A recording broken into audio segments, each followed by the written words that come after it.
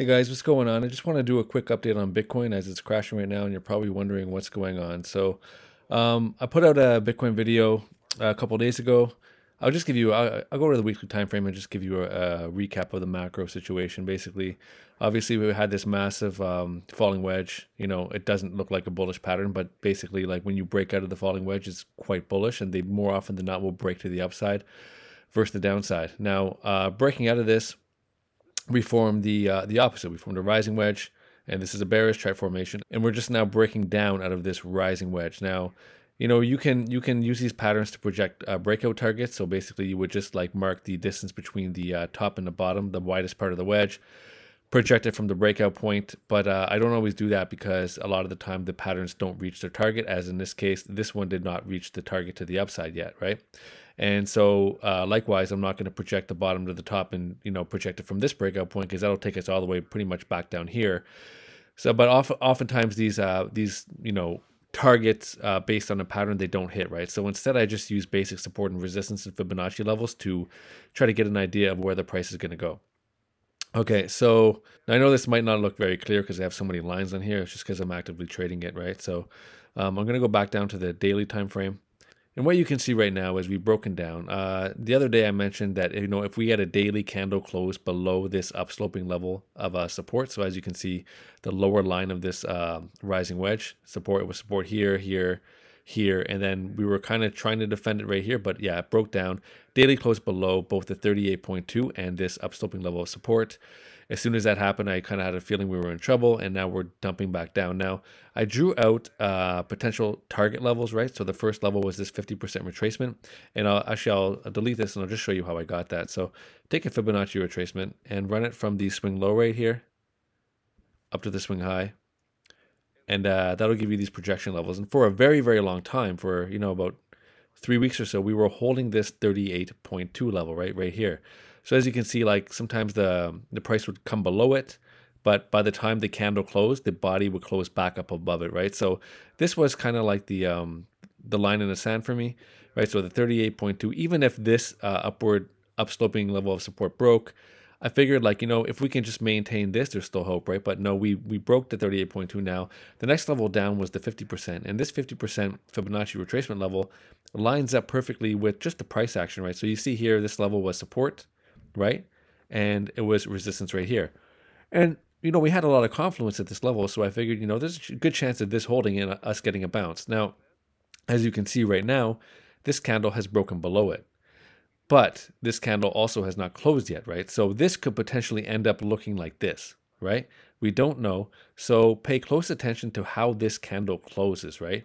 I want to see uh, uh, the candle closes in about three three hours and 15 minutes. It closes at 8 p.m. Eastern time, right? So, you know, there's a chance that buyers will step in and defend this level. Right now, it looks really bad. But if this this daily candle closes below this 38, sorry, below this 50% retracement level and below this uh, previous high right here, uh, that's a very bad sign. I'm going to take this down to the smaller time frame and just see if we've get it, if we've got any price action around around this level.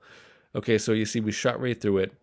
Uh, we came back up to try to test it and it served as a resistance level and now it's selling off again. Looks pretty weak, guys. Uh, not gonna lie, it's not ideal. But yeah, we have basically yeah a few hours left to see how this daily candle closes. But yeah, if the daily candle closed looking like this, it's not ideal. Um, and now, unfortunately, basically we just created a lot of resistance for ourselves, right? So as you know, a former level of support will serve as a resistance on the way up. Now, this 50%, since we broke through it, is going to be the first level of resistance now, right? Uh, and then once we break this, then this level here, this 38.2, given how it was support for a very long time here, it's going to be a level of resistance again. And of course, uh, this upsloping level of what was once support is also going to be a resistance. And on top of that, we have this diagonal line uh, resistance right here. So we have a lot of resistance overhead now after breaking this, right? So yeah, this is quite unfortunate. Um, if the daily candle closes uh, below this 50%, the next level down I would look to would be this golden pocket range, and that also lines up with the price action right here. You see it was support right here, it was uh, resistance right here, resistance right here. So this level right here, um, I have it at around 27,260, and consider it a range between 27,260 and down to 27,062.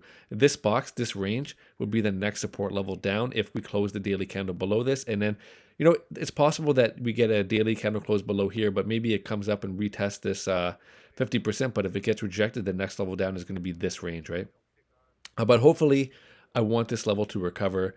It's still not lost yet. Buyers can step in within the next few hours and salvage this candle. Again, what we want to see is basically the candle look like something like this. We want this this area here to just end up like a wick and the body to close above here. Okay, now if this 60 uh, this golden pocket range breaks, this uh, 61.8, then uh, next level down is going to be 7 uh, 78.6. But um, I would I would suspect that if this golden pocket range uh, breaks, we're probably going to come all the way back down. And the level that I would um, look to then, and it's pretty important that this level holds.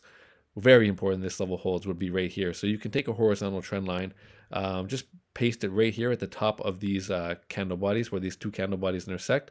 And that lines up, that's around, I would say uh, around 24,287, around the 24,000 range. Um, this level, really, I really hope this level holds because if it doesn't, then we're probably going to come all the way back down and test the lows, okay? So yeah, 24,000 range, I really hope that holds. Very critical level but yeah, that's about it, guys. Um, let's just watch how this daily candle closes. Looks weak. Uh, hopefully, hopefully we get some, you know, some some bulls come in and, and defend this region, right? Otherwise, doesn't look good. Now, what's interesting is, you know, this is a pretty pretty brutal Bitcoin crash, but the altcoin market is not really tanking worse than Bitcoin is. It's kind of on par, or even slightly stronger, right, for a lot of the coins. Um, I'll just give you. I'm going to do a separate video, but I'll just give you a quick uh, quick look at what um, Bitcoin Cash is doing here. So Bitcoin Cash, as you can see, it's still it's still within this channel. Um, in my last Bitcoin Cash analysis, I was basically saying that I, I do expect the price to come back down into this range. We're at the 38.2 fib retracement. We're still on the bull flag, and we're at the lower level of this range, right? So you know, as, as crazy as it sounds, this is actually a buying opportunity for Bitcoin Cash because it enables you to uh, place a tight stop loss below this lower uh, trend line, right? And you can target the upper region of this channel, which is basically the the bull flag formation, right? Um, the upper targets are. I, I, no, anyway, I'll do a separate video on Bitcoin Cash later on to to give you a breakdown on that. But anyway, back to Bitcoin. Uh, just to sum it up, it looks bad. Uh, watch this level, this 50% level. Um, it's around it's around 28,000, 28,080 or so. So let's see how the uh, daily candle closes in in about uh, three hours. Doesn't look good. You know, maybe it's going to dump all the way down here to the 61.8, then get a bounce. But anyway, we'll see. Uh, that about wraps it up. Just a quick update. Um, and if you're not subscribed and you want to get these updates right away, just click subscribe, click the bell, and then click on all. And that way, uh, YouTube will actually let you know when I release these videos. I'm going to do about two or three videos every single day. And uh, I'm also going to put a link to the exchange that I'm using. Um, really good exchange, in my opinion. Um, great interface, a lot of lot of assets you can trade on there. It allows me to use a little bit of leverage to amplify my position size, so I don't have to keep a lot of uh, a lot of coins on the exchange, which I don't like doing. I'd rather keep my my coins safe on my ledger. And uh, the best thing about it is there's no KYC, so they don't require you to submit any personal documentation to create an account and trade, right? Um, you may need a VPN to use it, so I'll also put a link to a VPN in the pin comment and the description as well. All right, guys, just a quick update. Hopefully that helped. Take care. Bye.